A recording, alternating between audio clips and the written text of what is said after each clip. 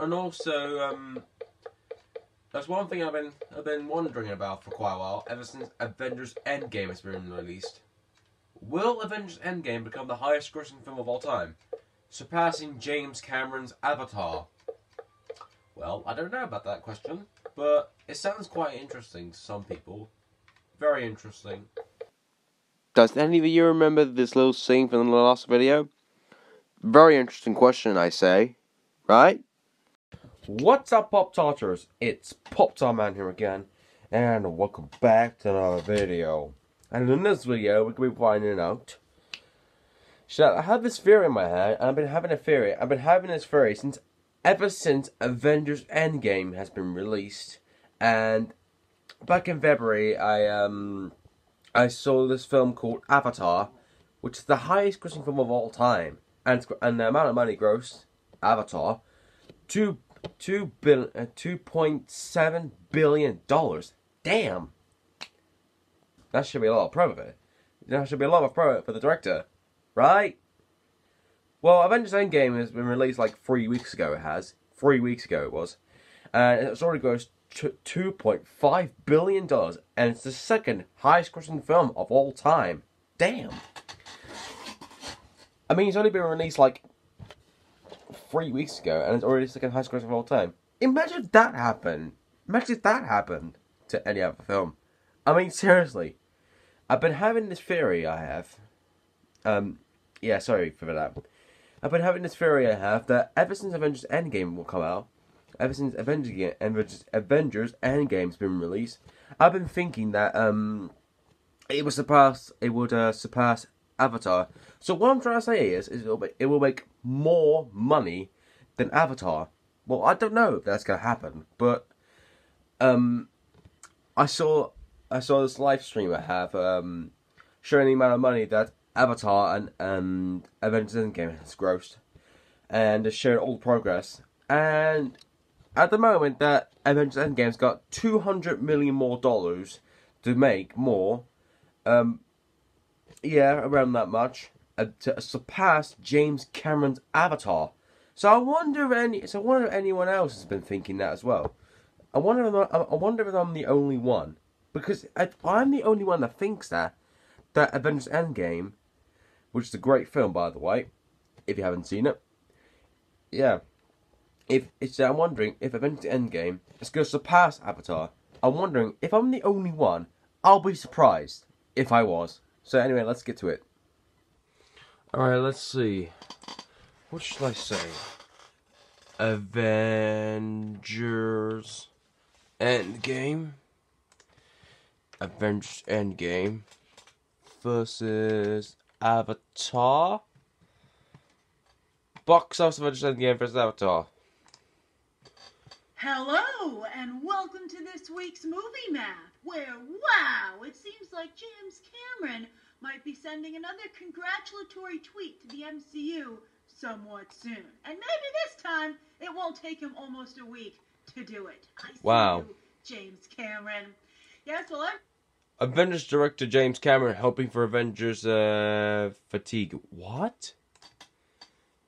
This video was released like two days ago. Everyone is talking about who will sit on the Iron Throne. Avengers Endgame is only 300 million away. Just 300 million from taking Hollywood's box office throne. A Well, throne which again, that money. James Cameron has sat on since 1997, adding an extra layer of security in Yeah. 2009. James Cameron's the Uh, highest grossing, um, was part of a James Cameron's highest grossing was Avatar. But that does not mean he's the highest grossing director of all sent him a time. message the old-fashioned way with an ad in the Hollywood trades. And you know, it, it's interesting. We're, um, we're going to be talking a little bit how, how, how the industry is changing. But you know, when you send an ad in the Hollywood trade, according to the girl's attitude, I think she's right as well. I think. I think. Yeah, it might be true. Do-do-do, Let's find screens film for Wikipedia. Oh, come on, thing, load.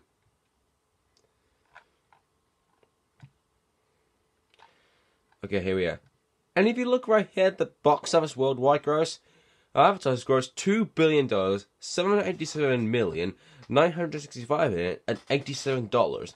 and it's been holding as the highest grossing film of all time ever since 2010. That's almost an entire decade. Wow. I bet James Cameron should be really proud of that. Yeah, but ever since Avengers Endgame's been released like three weeks ago, it's grossed 2.5, 2 billion, 580 million, 890 million, and 353 dollars worldwide. So it's a so it's less it's less than 300 million dollars away from becoming the highest grossing film of all time. And I believe and I think that Avengers Endgame will become the highest grossing film of all time. Man, imagine that. It's that Avengers. It's that there's one difference. Is this this this one thing I like um interesting about these two films, Avatar and Avengers Endgame. It's that Avengers Endgame is around three hours long, and Avatar is around about uh, about two uh, two and a half hours. And Avengers Endgame, in case you didn't know, fit does not feel like three hours long like the Lord of the Rings films. It actually feels like two and a half hours. I mean, seriously, I learned that from Eric Carter. He's a good YouTuber, by the way. He does versus videos on um on YouTube. He does. Go check out his channel. Go check out his channel if you want. Yeah. And it's quite different in prices. Avengers Endgame is more expensive. It is. Yeah, it had a budget of three hundred fifty-six million dollars, and Avatar had a budget of two hundred thirty-seven million. So it's minus. It's minus one hundred nineteen for Avatar. That's a completely good uh, around good price for a film, actually. Yeah, it's usually quite a high high budget for like a two-hour film. It's usually around one million to two hundred million dollars. It it always has to be. Not every film uh, has around that money. Some films quite have a quite low budget, like horror films. Yeah, but what I'm saying is, I think Avengers Endgame, by by the end of July, when it stops uh, when it stops coming out in cinema, it might become the highest grossing film of all time. Wow, imagine that. And it's the fifth ever film to gross over $2 billion, alongside Avatar, Titanic, Star Wars The Force Awakens, and finally Avengers Infinity War, which is one of my favourites, including Endgame, by the way. So, I think Endgame will become the highest grossing film of all time. Uh, yeah. Will I be right? Will I be wrong? We'll see. We'll see when I um, upload a video, another video on June on June 13th, or before that day, or any other Thursday before that. In case um, the money goes up and goes past Avatar. So what I'm trying to say is that I'm gonna upload another video uh, to see if um, to see what the how much money is grossing, how much money it's um it's grossing, how much money is grossing uh, Avengers Endgame against Avatar on June 13th. See how the progress is going. Um, but before, if, if Endgame uh, passes Avatar in at the at the box office, I'll make a video and go like, "Oh yes, I was correct. I'm a genius." Will I be right? Will I be wrong? Well, we have only time will tell.